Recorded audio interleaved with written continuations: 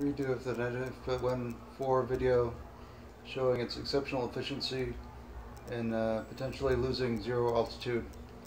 Uh, sign of major success with potential perpetual motion.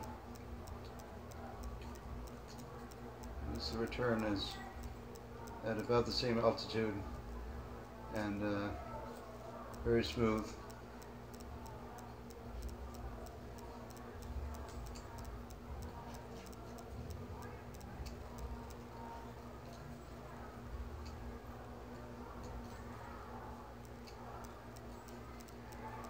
Haven't figured out the ramps yet, but uh, it's close to being workable with ramps even in this configuration that I built right now. Uh, so I hope people take heart about perpetual motion at this point because I think there's a lot of uh, very good evidence that could be workable in the near future.